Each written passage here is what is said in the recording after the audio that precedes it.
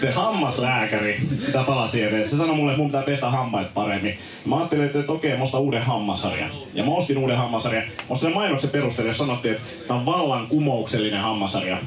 Mä eka ajatus oli se, että nyt on markkinointimiehellä keulinut mopo vähän, että vallan kumouksellinen. Mä ajattelin, että kun mä alan harjaa siellä hampaita, niin se laulaa mulle taistolaislauluja ja whisky korvat.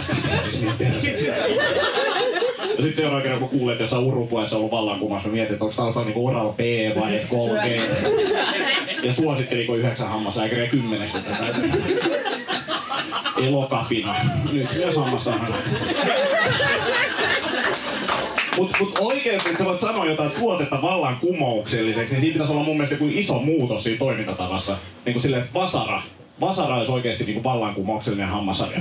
Napsuttelet sieltä hampaat pois, niin tulee vittu reikiä. Tai sirppiä vasara olisi ehkä vielä vallankumouksellinen.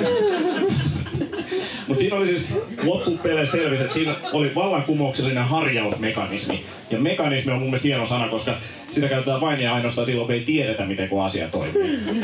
Isi, hei, miten TV toimii? No kulta se toimii. Sillä meillä on antenni katolla ja osalla on kaapeli. Ja sitten sieltä tulee signaali ja sitten siinä TV on semmoinen, siinä on semmoinen mekanismi ja sitten kuva näkyy. Isi, hei, missä on nuorisosäätiön rahat? No kulta, siinä oli semmoinen, siinä oli semmoinen keskustamekanismi. Hei, mun aika oli tässä ja meni ylikin. Anteeksi siitä, kiitos paljon teille, teidän mahtavaa yhdessä.